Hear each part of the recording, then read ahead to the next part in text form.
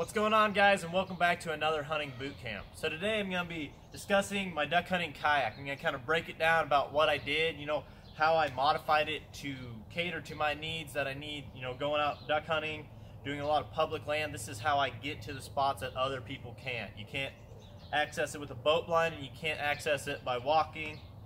Uh, I guess you could access it by swimming if you really wanted to get get that into it. But other than that, this is about the only way you can get to some of the spots we hunt. And I'll just break down what we did to it.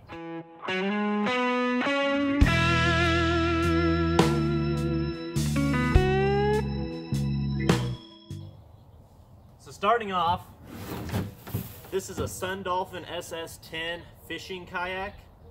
And you can see there's rod holders here and here. And there was a rod holder here. So I guess first thing I should mention is right here, these are my gun, this is my gun rack. So I can put my 20 gauge or my 12 gauge in here and it just rides on top. And these are just uh, ATV gun racks that I mounted and installed on my kayak. Just four holes here with some drywall anchors and that's pretty solid, not going anywhere. And then this, I had to uh, rig up some aluminum sheeting and bend it just right and then screw it into the plastic itself to hold it there and it's pretty solid as well. So that's worked out really good and I don't have to worry about my gun, you know, if my kayak would capsize or fall off, you know, tip or anything. I don't have to worry about my gun going overboard. I mean, it could tip it and this, these ain't letting it go. It's got like rubber grips and it's even got straps on here that I can secure it from the top too. That's, that's the main adjustment I made to it. You can see it's camo, so this was olive green when I bought it and I need to touch it up. I touch it up every season. Um, you know, going through the weeds and back of trucks and stuff, it gets pretty beat up and gets pretty roughed up, paint chips off. So I need to need to kind of scrape some of the old paint off and repaint it this summer, and we'll do a video on that too. But uh, so I just use a matte finish, or a well, not matte, a flat finish, I guess is what I should say, and just basic camo colors: tan, brown, green. You can see um, just trying to blend it into that early season to mid-season before everything really dies because that's uh, that's when I'm hunting with kayak mainly. When it's freezing, you know, when it's frozen, I don't really uh, don't really go out on kayak too much. So the last actual modification that I did to this kayak is I went and took a drill bit and just went put two holes back here, and that's how I haul my decoys in. And then I'll show you here. One second. So all my decoys are rigged up on Texas rigs, right? So you just take the clip, just like that.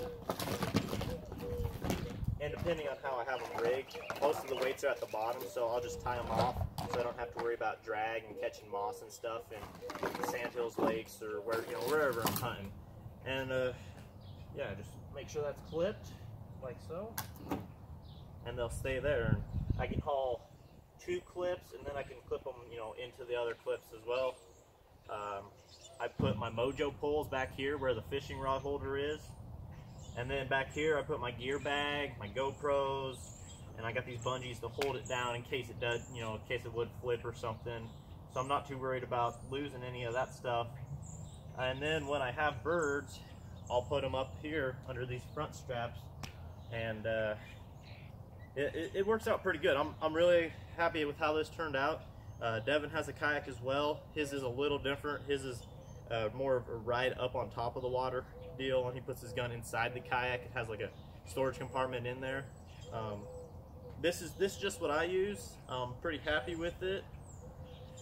It's uh, oh, I guess there's other compartments here, so I put like my water jug there, and I'll put whatever gloves or whatnot in there. It's kind of a little dry compartment, and then whatever else you can just stash all over. I mean, it's a kayak, you guys know, but the basic modifications that I made to it are the gun rack, the holes to haul my decoys, and then the camo paint job, which does need some more work on it in the off season. Uh, I have seen other people hunt out of the kayak, you know, hunt out of their kayaks. They'll make little blinds and stuff on it. I haven't done that. I I just don't, you know, I'll show you why here. So you're sitting in the kayak.